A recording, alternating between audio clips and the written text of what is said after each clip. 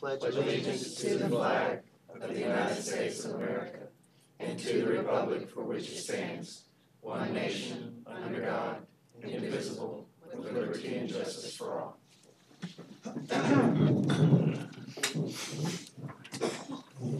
Thank you. Please note the council's in full attendance. I want to welcome everybody here at our January 3rd meeting and wish everybody a Happy New Year. Um, Looking forward to this year. First uh, item on our agenda is items from council. Can I pull D six, please? Pull D6. Mhm. Okay.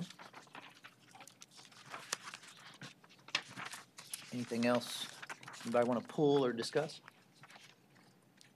I have one question for staff, uh, if I may. I don't want to, there is an item on here uh, regarding mowing. I don't want to pull it, though. I just have a question.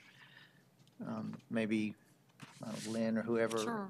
The, the Drainage District Three, Mhm. which uh, I had talked to staff, I may not have talked about it much up here, I don't recall.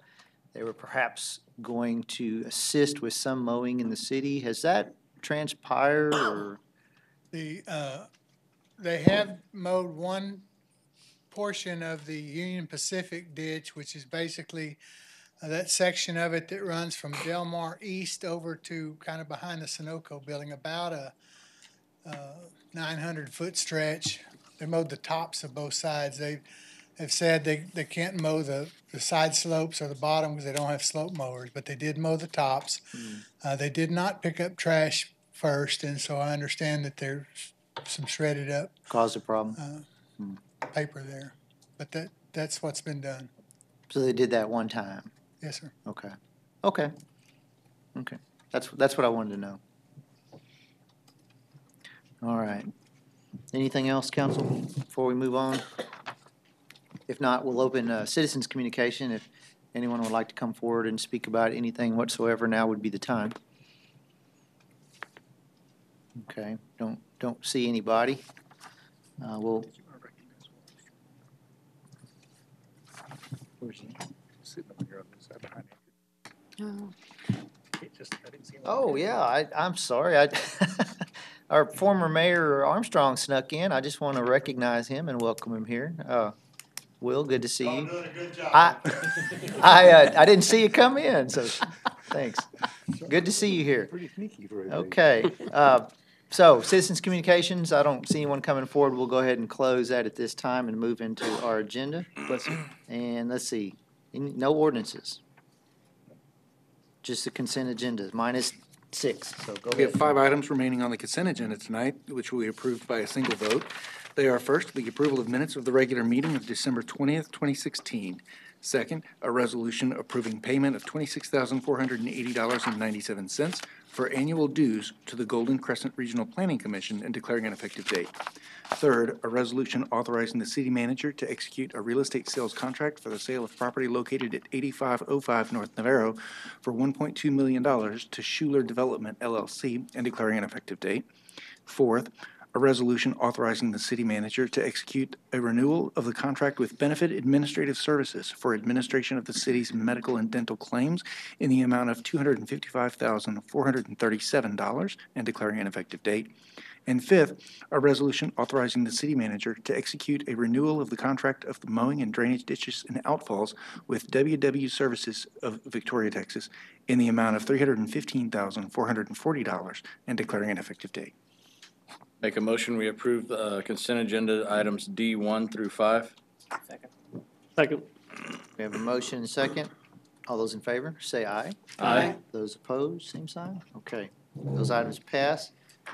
D six. Item D six is a resolution approving deductive change order number four to the 2014-15 Reclaim Seal Project in Meadow Creek Hamlet, Springwood, Eagle Creek, and FB Lowry to delete the Springwood portion of the project, decreasing the amount of the contract by five hundred and forty-eight thousand, five hundred and fifty dollars, bringing the new contract amount to one million, eight hundred and seventy-eight thousand, five hundred and two dollars, authorizing the Director of Public Works to execute the change and declaring an effective date. I move to adopt. Second. Motion and a second. Discussion. On this project, this was a project that some months back, you brought us some baggies of slush, kind of, sort of, for the foundation. right, uh, for the, I believe that was Woodway and Bridle Ridge that was the, the, but, but this is similar in that, uh, we felt like once we got out there to actually do the work, getting, preparing to do the work, we did some cores and the, it's, this base there is just not suitable to be reclaimed. It's gonna have to be completely rebuilt at some point when funding's available. And so what we recommend then is, is deleting that reclaim work out of this project. And then, of course, that money will be deallocated and made available for the new CIP that will be coming forward in March uh, to discuss. I I was thinking it was the same project, and I was just wondering. So only the amount that was gonna be used in Springwood got pulled out, so that's what the five hundred thousand dollars That's, is? that's Okay, correct. Okay. And in March, you'll present to us what seal coat project we could pull forward? We'll For- redo for the whole next year. CIP, Yes, the whole CIP. and that money will be put into the CIP projects. Is Springwood gonna be part of that CIP list this year or not? I don't know, Lynn's working on it, and I haven't seen it yet, Yeah, so. we're not ready to make rec, we're not far enough along to make recommendations at this point. It is one of the ones that we're evaluating, considering. I want to say thank you for um, doing the testing. We've, we've learned our lesson and we didn't have to learn it more than once, so thank you for that. Yep. Okay. Any, any further questions for Lynn or discussion? Okay. All those in favor, say aye. Aye. Those opposed, same sign. Okay, D you. six passes. And we have a resolution. E1 is a resolution approving the purchase of two 2017 Harley-Davidson FLHTP police motorcycles from Harley-Davidson uh, Vic- of Victoria for their low bid of $48,730.12, accepting a grant from the Victoria 100 Club in the amount of $25,000 to put toward the purchase of the motorcycles, authorizing the city manager to execute all documents necessary to accept the grant and complete the purchase, and declaring an effective date. So move. Second? Okay, motion and a second. I see the chief. I think he wants to say a few words. Do we- do we have questions first or? When did I- we discontinue the motorcycle patrol? Remember? I want to say it was about 10, 15 years ago, but I'm not positive on that. I was in the nineties sometimes, I Yeah, don't remember okay, maybe even exactly. further, It's been a yeah. while. I had that written down somewhere, but, I'm just but it's been a while. You say you're reinstating the um, motor patrol component of the police department. These are just two motorcycles. Are you going to be adding any more to that in the future, or are you just planning to keep it kind of for right now? The plan is to add these two now, and then take a look at it and uh, possibly add two more in 2018, for a total of four. Good, very good. I have to look at budgets in twenty eighteen. Yes. That's why he looked at me Well, that's what I'm saying. we're Were they part, were they part, I mean, the difference, was it in this budget year, or was that just something that we had to pull out from somewhere else, other department? Forfeiture We were, we Oh, were that's trying to be very sensitive to the budget, and uh, Okay. this is a very minimal impact on the general fund. Um, And that's one of the reasons why, you know, I- and if you take a look at how we went about uh, purchasing these, um, we, we were very fortunate to, to receive a generous grant from the Victoria 100 Club, who are tremendous supporters of public safety, uh, stepped forward and said, uh, you know, we'll support you with this reinst- reinstituting program. And then I just took the balance from uh, asset forfeiture funding. So with a minimal impact on ongoing costs for the, uh, that will hit the general fund, but it's very minimal. Okay, very good. I understand, so Victoria one hundred Club is participating here at this, at the amount of twenty-five thousand dollars. Twenty-five thousand dollars, And- yes, A representative of the one hundred Club is here. yes. He and I has to at least stand up and stand next to you for a minute. Howard, Howard Good, president of the Victoria one hundred Club. I'm sure many of you already know Howard. Oh, yeah. Um, But uh, again, I just want to say, uh, with Howard standing here, a tremendous supporter of public safety.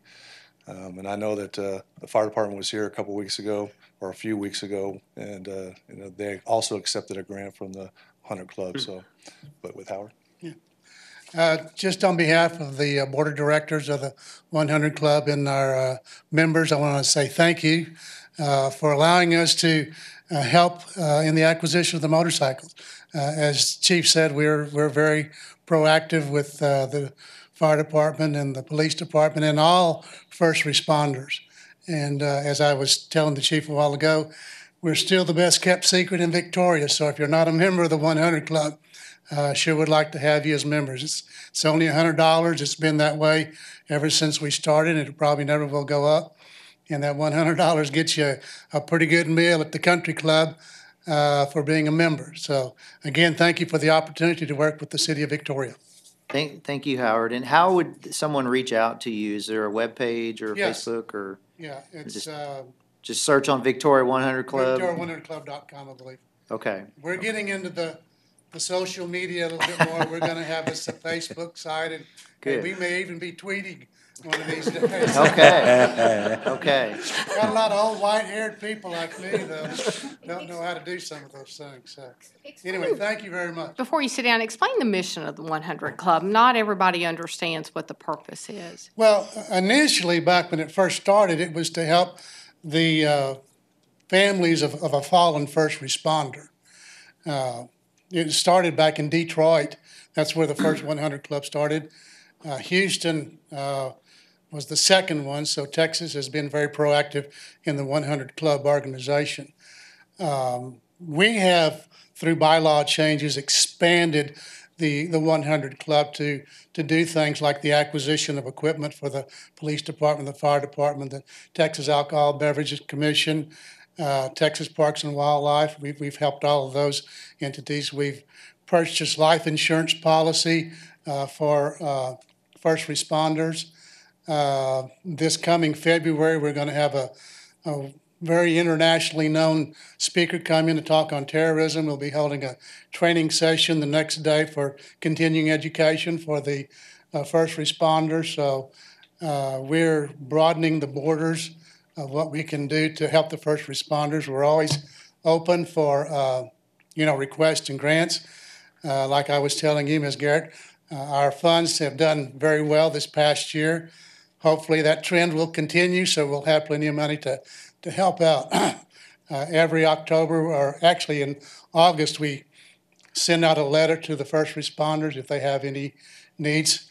We get a lot of requests. We can't help everybody we would like to, but uh, this year, the board of directors felt very strongly about some of the things that, uh, especially in the fire department's case with the drone that they're getting, uh, one of the things that we asked Mr. Drake to do, if- make it available, if at all possible, to the other agencies, so it'll, in his words, be a regional asset. So if the police department, or the sheriff's department, or the fire department, or some other agency needs to use it, if it's available, uh, it'll be able to be utilized in, in, in multi-purposes. So we were very excited about being able to, to help in that area. Wonderful, wonderful. And I just want to personally thank you, Mr. Good, for your involvement in that organization. And what a lot of people may not know is you've been involved in many in Victoria and, and quietly served on a lot of boards and, and contributed your time. So, and that's very important. So thank you. Thank you very much. You bet, you bet. Okay. No further discussion or questions. We still need to vote, right? All right. All those in favor say aye. Aye. Those opposed, same sign? Okay. There you go. Thank you, Chief. Thank you. All right, city manager reports. Mm-hmm.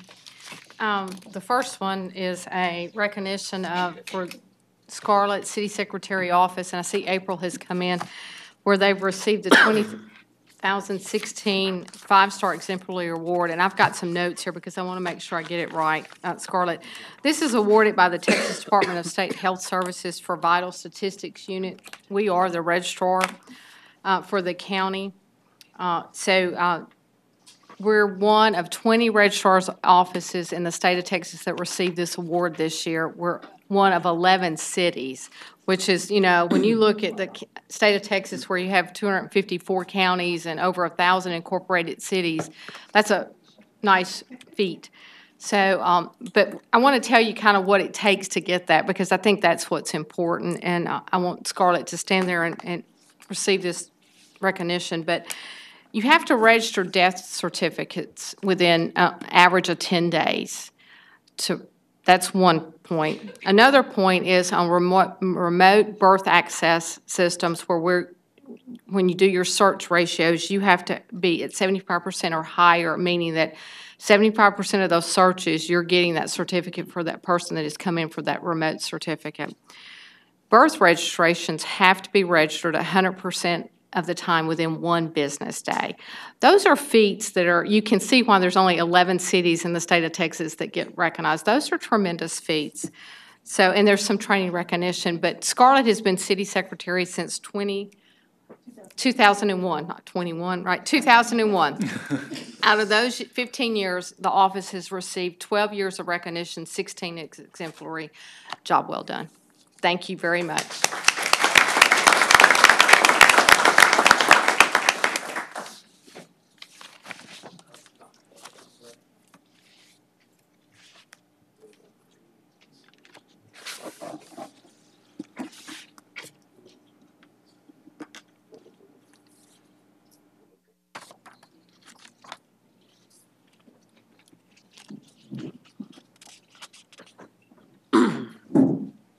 I can tell you, I would, we would not have won this award without April. She's got some, uh, a nice job to continue doing that, so nice challenge. Great foundation you've laid there, Scarlett. And I have to say, you know, as, as most of you probably know already, Scarlett will be retiring soon. So this meeting and one more meeting next, in two weeks. So we're gonna miss her a lot. And, uh, I can attest to what city manager said. It does, they have a good department and those, they're always hitting on all cylinders in there and getting that work done. And that's, that's no small feat to come in with a smile every day like they do and deal with everybody that walks up to that window. So thank you so much. So, okay. So uh, the next one is Jared's going to do an update on the Unified Development Code, which is part of the Comprehensive Plan 2035 for us to work on, and there's a ad hoc committee that's being formed, and Jared wanted to tell you what was going on with that. Yes, ma'am. Um, as y'all may recall, back in October, uh, when John Kaminsky was going over our action agenda for implementing uh, or beginning implementation of our Victoria 2035 plan, one of the items uh, was the development of a unified development code, which would uh, result in the review and and and kind of pulling together of all of our subdivision and development regulations uh, into one document. Um, our subdivision and our main subdivision and development regulations were adopted in 1992, and we've amended them uh, many times over the last 25 or so years, uh, but there hasn't been a comprehensive review of those since that time. So that's what this committee will be uh, tasked with. Um, as Ms. Uh, Garrett mentioned, it's an ad hoc committee. It'll be three planning commissioners and two city council members. Uh, from Planning Commission, the chair, Mr. Greg Spears, has agreed to serve along with Marianne Wyatt and Jill Trevino. Uh, from City Council, uh, Ms. Scott and Mr. Bauknight have agreed to serve. So that will be our ad hoc committee, and we'll be getting to work here fairly soon. Any questions?